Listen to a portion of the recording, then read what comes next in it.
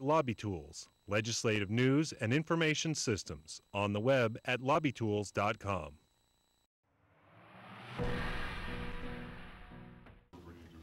A battle born before the beginning of the 2012 legislative session is coming to a head.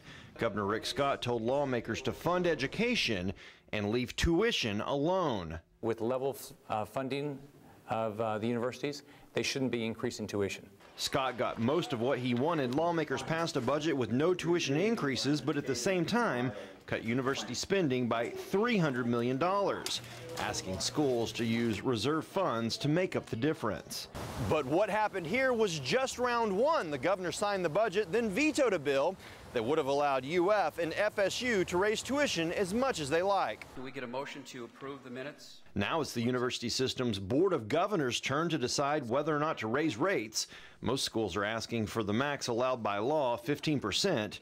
Chancellor Frank Brogan says, good luck. 15% is going to be a tough ask this year because of the ongoing uh, 15% increases, but also knowing that the recession is taking its toll on everyone, and that includes students. I know a lot of students that took semesters off because they didn't have money to pay for school and things like that. You're afraid they'll price students out of uh, college education? Pretty much, yes. That's what it's looking like. As, as long as we keep on this upward exponential trend, people aren't going to be able to go. Even if schools raise tuition the max amount, it will only make up for about a third of the state funding cuts.